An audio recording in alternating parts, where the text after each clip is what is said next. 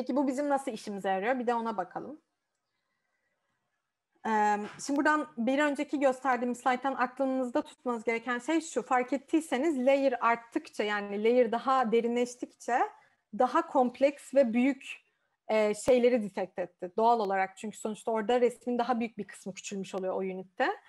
Dolayısıyla daha deep layer'larda daha kompleks şeyler detect ediliyor. Şimdi şeye geçiyorum.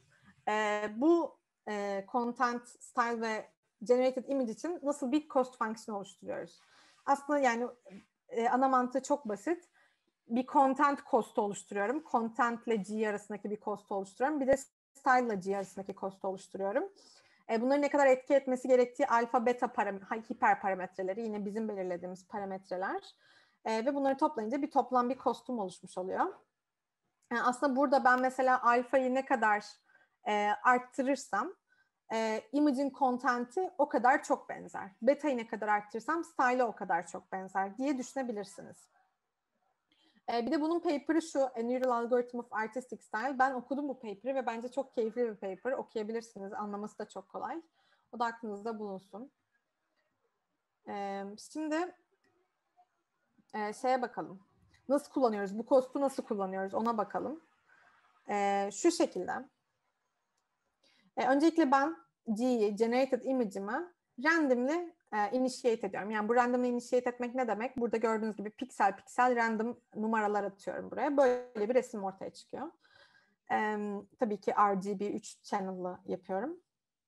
Daha sonra gradient descent kullanıyorum. Şimdi benim elimde kostum var. Bu kostu e, bu kostun e, hatırlıyorsanız derivatifini alıp e, G'nin her pikselinden çıkarmak e, gradient descent oluyordu. E, bu çok kullanılıyor zaten. Siz de şimdiye kadar birçok kez yapmışsınızdır. E, dolayısıyla bun, bunun her pikselinden kostümün derivatifini çıkartıyorum. Bir sonraki G bu oluyor o yüzden. Ve görüyorsunuz giderek e, image e, önce bir şey olarak daha çok benziyor gördüğünüz gibi content olarak benziyor. Daha sonra da e, şeyi style kısmını biraz e, alıyor gördüğünüz gibi. Bu tabii kaç e, şey yaptığınızda çok alakalı. Kaç iteration ilerlettiğinizde çok alakalı. Şimdi şey dedik, bir cost fonksiyonu belirledik. Bir content cost var, bir style cost var. Şimdi content cost'unu konuşalım.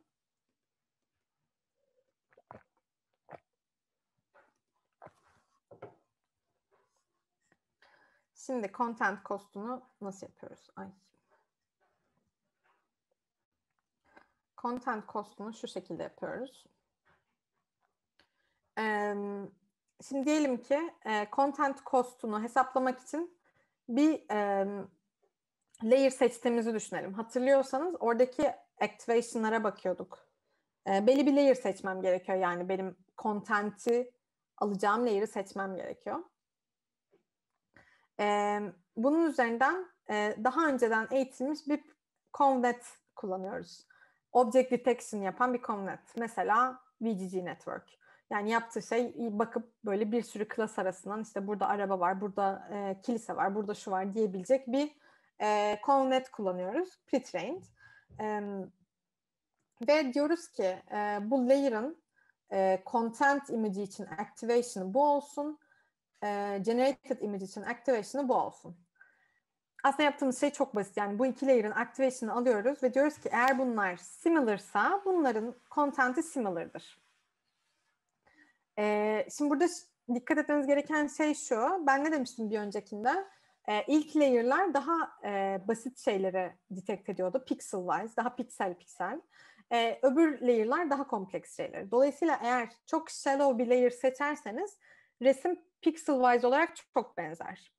Çok deep bir şey seçerseniz de mesela atıyorum bir e, köpek var. Direkt köpeği resme koymaya çalışır.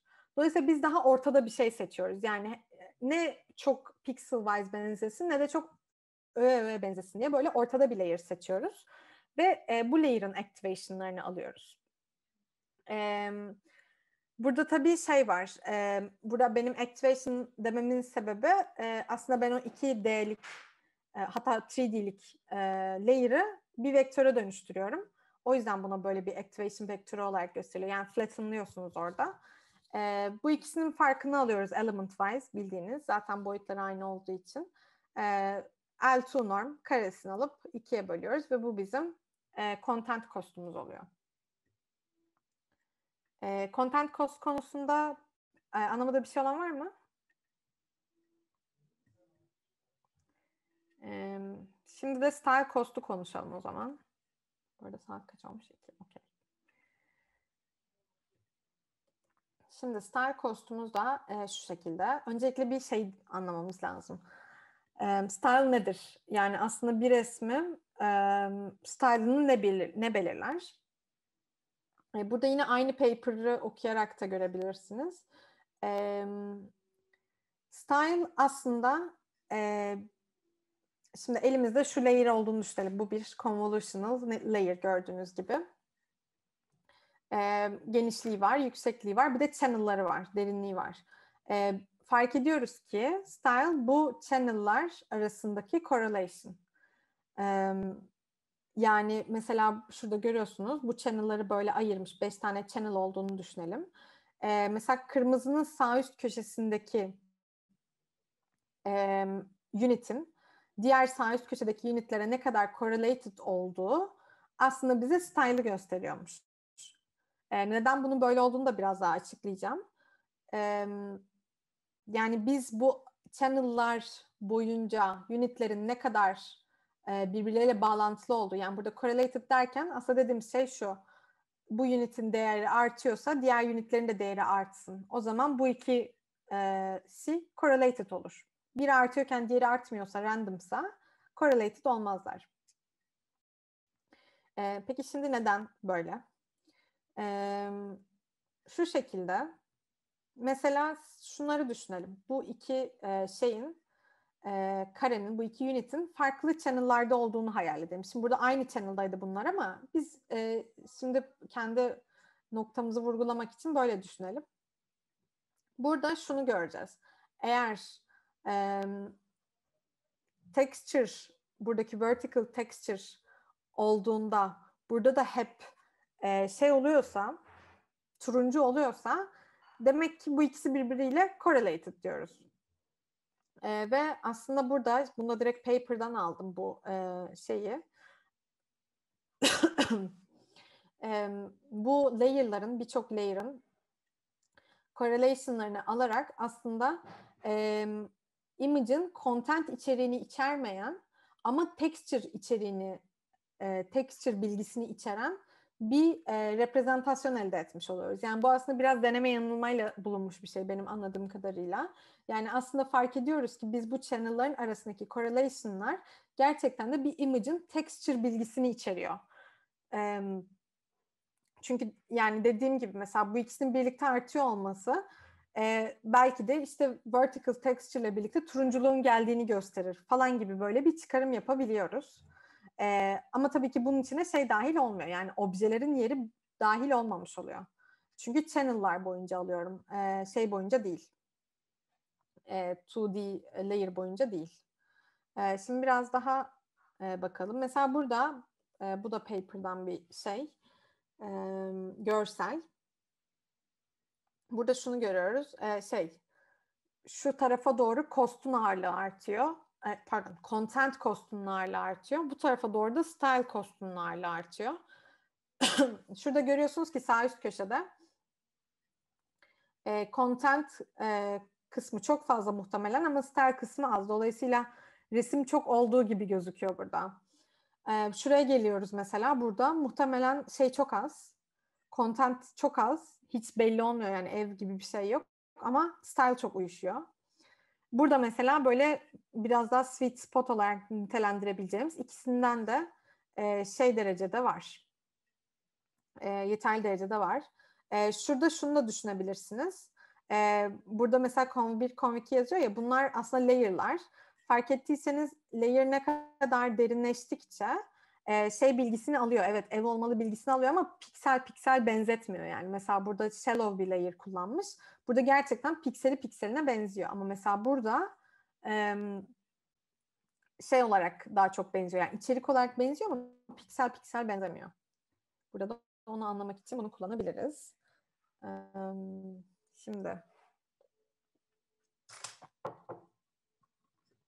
Şimdi şunu e, nasıl tanımlayacağımıza bakalım. Style cost'unu. Style'ın ne olduğunu anladık. Şimdi style'ın cost'unu nasıl tanımlayacağımıza bakalım. E, burada atıyorum ki bu e, şu layer'ın activation'ı olsun. Belli bir konumdaki activation yani belli bir unit bu. Belli bir height'teki, belli bir width'teki ve belli bir channel'daki unit'in activation'ı olsun. E, ne demiş burada? Evet tamam burada matrix'i oluşturacağız. Ee, şunu yapıyoruz aslında correlation'ı hesaplamak için. Ee, alıyorum bu um, activation'ı. Ee, başka bir e, channel'daki, buradaki channel bilgisiydi çünkü K. Ee, başka bir channel'daki activation'a çarpıyorum. Şimdi mantıken bunlar birlikte aktive oluyorsa e, çarpımları büyük olacak. E, eğer e, birlikte aktif olmuyorlarsa çarpımları e, küçük olacak çünkü e, yani alakasız olacak. Buradan bir matris oluşturuyorum aslında. E, bu iki e, şeyin birbirlerine e, korelasyonlarına bakarak. E, şimdi burada söyleyeceğimiz bir şey var. Bu aslında direkt correlation değil istatistikte. Bu uh, unnormalized cross covariance diye geçiyor. Ama biz daha iyi anlayabilmek için correlation diyelim. Yine şey gösteriyor yani her türlü belli bir channel'daki e, bir activation'ın diğer channel'da channel'lardaki activation'a ne kadar e, yakın olduğunu gösteriyor. E, burada e, bu matrisin, bu G matrisinin e, şeyleri, boyutları da gördüğünüz gibi channel sayısı çarpı channel sayısı. K birden channel sayısına kadar. E, şimdi biraz daha e, bakalım. Burada e, buna bunun G denmesi sebebi buna aynı zamanda istatistikte gram matrix deniliyor. Yani sadece style için değil birçok şey için e, korelasyon için kullanılıyor. E, ve bunun şeyini nasıl hesaplıyoruz? E, bunu bir cost olarak nasıl hesaplıyoruz? Elimde bir style image vardı, bir generated image vardı. E, alıyorum bu iki image'in, style image ile generated image'in gram matrislerini e, farkını alıyorum aslında ve bunun karesini çarpıyorum. Yani bildiğiniz matrisler arasındaki farkı buluyorum L2 square norm, normla. E, bir de başına e, şöyle bir e, şey koyuyorlar e, diyor Andrew Rengi. Böyle bir e, normalization şey koyuyorlar ama bunu koymasanız bile aslında hatırlıyorsanız e, style cost'unun başında beta diye bir hiperparametre vardı. Aslında onunla aynı şeye denk geliyor bu beta ile de e, ayarlayabilirsiniz ama genelde böyle yapılıyormuş. E, bir de bunu tabii bu matrisleri burada element wise yazmış. Yani element wise gerçekten çıkartarak aralarındaki farkı buluyorum. Burada anlamadığınız bir şey var mı? Tamam. Ee, burada style'ı düz kostu bir güzel bir şekilde yazmış. Ee, bir de burada şey diyor. E, şurada bir de kareli olacak bu arada bu bunu şey yazmış, eksik yazmış.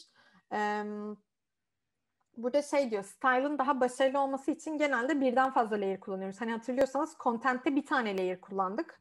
Ee, tek bir layer seçip onların activation'larını aldık. Burada diyor ki birden fazla layer seçelim ee, ve onlara belirli ağırlıklar belirleyelim. Bu sizin style'ınızın ne kadar, yani aslında bu sizin fine tune'lamanız için bir hiperparametre gibi düşünebilirsiniz. Ee, dolayısıyla aslında şimdi biz cost function'ımızı oluşturmuş olduk. Content function'ımız vardı content function'ımız hatırlıyorsanız şeye bakıyordu. E, gradient descent yapıyordu.